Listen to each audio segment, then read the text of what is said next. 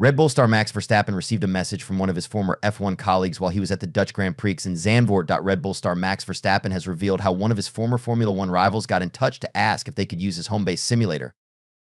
Verstappen has equipped his luxury Monaco home with a state of the art sim racing setup as the Dutchman regularly races virtually during his downtime between F1 races. He also takes one with him on board his motorhome for European races. While he was preparing for his home race at the Dutch Grand Prix at Zandvoort, the 26-year-old was contacted by his ex-Red Bull colleague Nyck de. De Vries, who was brutally sacked just 10 races into his career by AlphaTauri, now Visa Cash App RB, has secured a drive in the Super Formula Series in Asia. Ahead of his debut at the Motegi circuit, he politely asked Verstappen for a quick go on his simulator before the race, but the three-time world champion was forced to turn him down.